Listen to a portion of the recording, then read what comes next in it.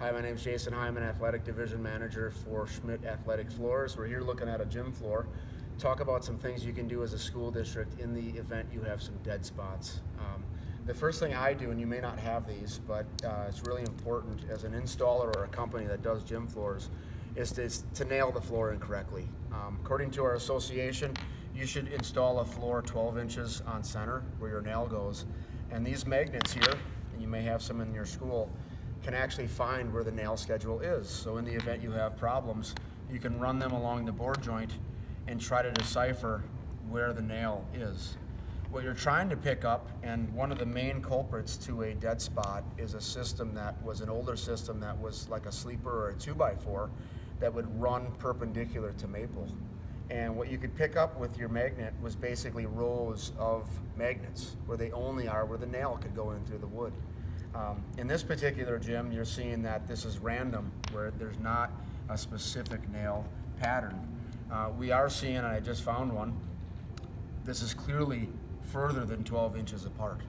Um, that doesn't necessarily dictate 100% why you have dead spots, um, but what we're going to show you today is a couple of things you can try in the event you do. Um, so number one, if you can check your nail schedule, that would be great, uh, but you need some magnets. These are half inch spherical magnets. So what I have here is I have a drill, uh, 3 16 drill bit. Um, I have a can specifically of window and door Great Stuff, rather generic at your local hardware store. Do not buy the red expandable type. It has to be this type. Um, um, so that, that's what we're looking for. And then I also have an epoxy here that goes through a straw. This one here is 3M Scotch Weld. Um, we're going to try out a couple different things here. So I'm gonna take our blue painter's tape and in a couple of spots, so let's say this is our dead spot area. Um, let's say it was a sleeper system and I had rows of, of magnets that were here and here and here in a pattern. I wanna go right between those sleepers. Uh, in this particular case, this gym floor is a two layer of OSB installed about 27 or so years ago and it's noted to probably be a first to second layer separation where the OSB is not separated, but there's a separation between the lower layer and the top layer. And it, you can kind of tell when you're pushing or deflecting the floor, it almost has a clapping effect, um, which is giving you that effect. Therein lies an installation consideration. The first layer has to be nailed to the second layer appropriately and you have to have enough nails in the top to be able to, to, to bind both of those together. But regardless, we're in this position. We want to try to see if we can fix um, the ultimate problem. So what we have, uh, what I'm going to do is essentially, and I actually need a different drill bit here to start this, so one second.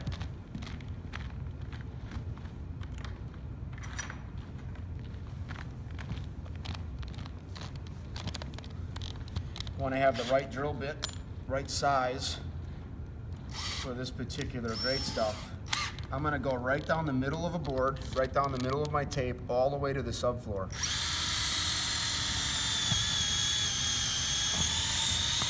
So I bottom out right there. Clean that off. I'm literally gonna take my great stuff, and it's dirty here because I did one already. Gonna put it into that space and I'm gonna try to fill the void essentially that's under it.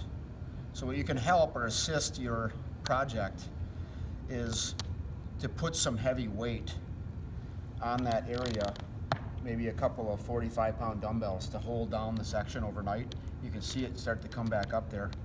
Um, it might take a couple of hours for that to dry completely. You wanna pull the tape off and then put some wood filler in there and that should help relieve yourself of a dead spot. You need to be concerned too because there's also dead sounds. So in some of these floors you'll hear dead sounds where it's not actually a dead spot. This will actually accomplish both. Um, so that, that's one option. The second option is the epoxy. So what we're gonna do in this particular case, we have three quarter inch maple, which is pretty common on here.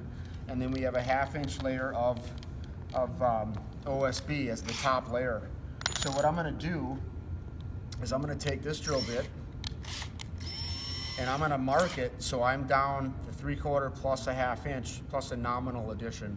So I'm slightly into that bottom layer. I'm just gonna take a drill hole right through both. And my goal or intent here is that this epoxy, as it mixes through this straw, is gonna find its way to the bottom layer, squeeze back up between the bottom and, and, and, and the top layer of, of OSB, and then come back up and squeeze anything remaining between the maple and the top layer. And um, we can do that by showing right here. Squeeze that into the area. Don't want to overdo it either. It's a little bit subjective on how much you use, but several squeezes there. So we let that dry. Maybe this area here as it's as it's dry and we, we clean off as we go. We pull the tape, wait overnight, put some wood filler in it, and we're done.